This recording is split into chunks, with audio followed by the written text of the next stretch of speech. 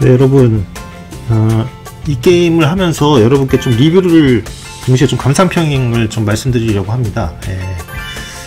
아, 일단 여러분 이 게임은요 굉장히 캐주얼한 게임이에요. 그래서 깊이 있는 어떤 그런 예를 들어서 뭐 물고기와의 밀당이라든지 밀, 물고기가 입질을 예를 들어서 뭐, 뭐 물고기마다 다르다든지 하는 거 절대 기대하시면 안 됩니다. 이 게임은 그냥 획일적인 게임이에요. 어, 물고기가 다 똑같은 거의 똑같은 반응을 보입니다. 네. 다만 이제 뭐라 그럴까 이 조이콘 같은 게 진동이 있고 그다음에 이렇게 액션이 낚, 실제 낚시 좀 비슷하게 이렇게 왼쪽 조이콘으로는 이렇게 돌리고 오른쪽 조이콘으로는 이제 그 낚싯대 조정하고 이런 것들 이런 것들이 조금 신선하긴 한데 뭐 조이콘으로 뭐그 정도 할 수 있는 건 당연한 거 아닐까요? 그죠? 네. 물고기가 패턴이 다 똑같고 그냥 생김새만 다른데 근데 여러분 이게 너무 뭐라 그럴까? 그, 그 깊이를 기, 대하면 안 된다 이 게임은 그냥 캐주얼 게임이다 라는 것을 좀 알아두시기 바라고요 결국은 똑같은 짓의 반복이에요 똑같은 짓을 반복해야 돼요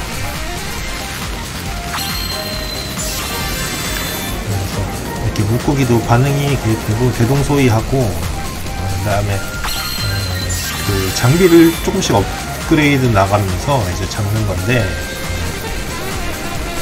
그런 거고요.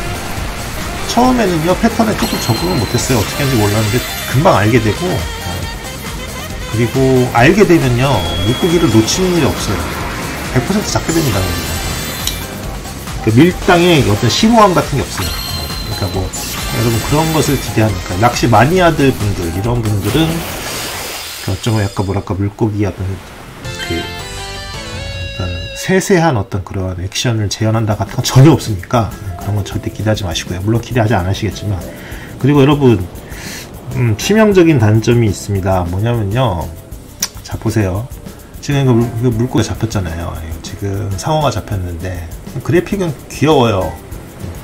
캐주얼하게 돼 있고 실제 물고기의 모습이 아니라 이렇게 약간 이렇게 애니메이션화 했다고 해야 되나? 그래서 이렇게 귀엽고 좋은데 보시면 좀 그런 배려가 없습니다. 그래서 을의 낚시 게임이라면 이런 경우를 이렇게 조이콘의 스틱을 움직이면 물고기가 좀 이렇게 회전한다거나 해가지고 물고기의 다양한 뭐 등쪽도 볼 수 있고 배쪽도 볼 수 있고 확대도 하고 축소도 하고 할 수 있잖아요. 그런 게 없어요. 그런 배려, 세심함이 없습니다.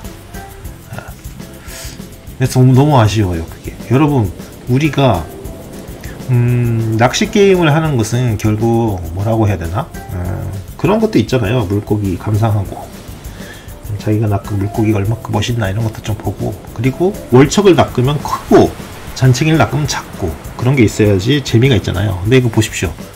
170cm예요. 낙하는 158cm짜리 잡았거든요. 그냥 크게 똑같아요. 김 빠지는 일이죠. 그쵸? 예를 들어서 자 키가 작으면은 그걸 작으면 아 이거 작네. 다음에 큰 걸 낚아볼까 하고 큰 걸 낚으면 와 월척이다 하면서 좋아하고 이런 게 있어야 되는데 그런 게 없어요. 그러니까 지나치게 획일적이고 다양함이 없습니다. 예. 여러분 이거 꼭그 아시고 구입하시기 바라고요. 근데 여러분 이 스테이지는 굉장히 여러 가지가 있어요.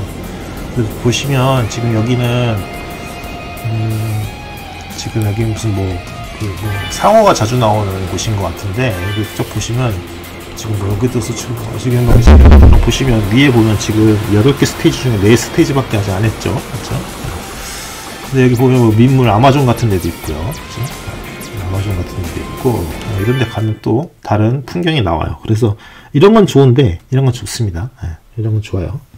근데 결국 들어가도 그냥 뭐 장소는 좀 달라지지만 물고기는 똑같고 그리고 나오는 물고기가 정해져 있습니다 그 도표에 나와 있거든요. 뭐 여섯 개면 여섯 개, 일곱 개면 일곱 개. 그, 그 외의 건 절대로 안 나와요.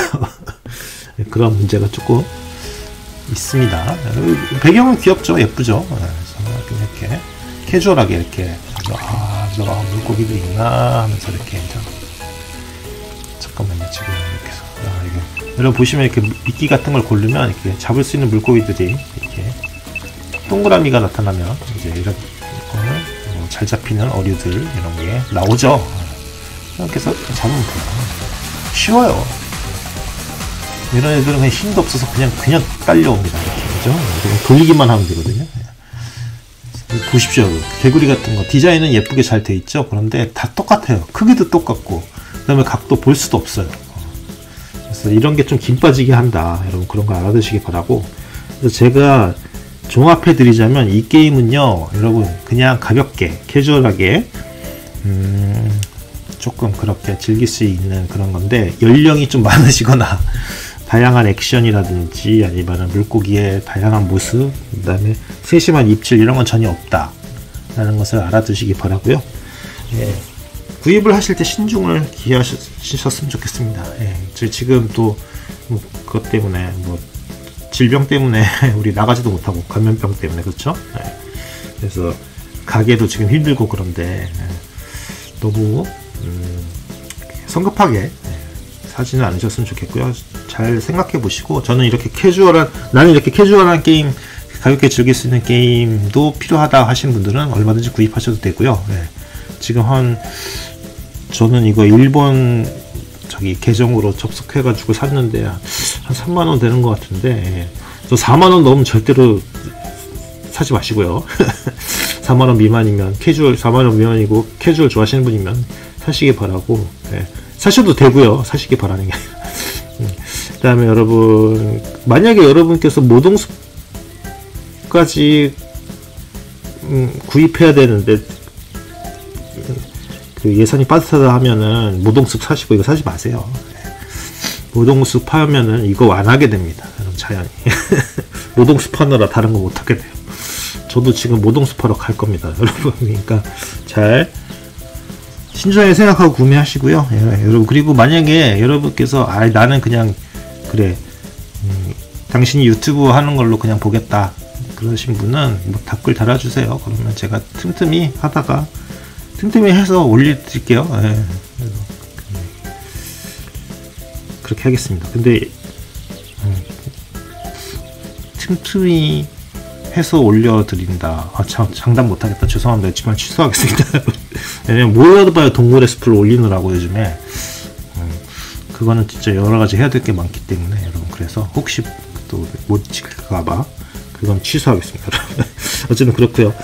여러분, 에, 어, 답답하실 텐데 잘 저기 지내시고요. 건강 항상 유의하시고 예. 우리 우리나라가 이제 이 코로나로부터 벗어나서 다 완전히 이제 좋아져서 서로 웃는 얼굴로 생맥주 한잔하는 그날까지 여러분 힘을 냅시다. 감사합니다.